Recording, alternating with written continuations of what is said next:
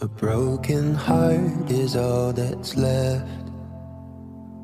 I'm still fixing all the cracks. Lost a couple of pieces when I carried it, carried it, carried it home. I'm afraid of all I am. My mind feels like a foreign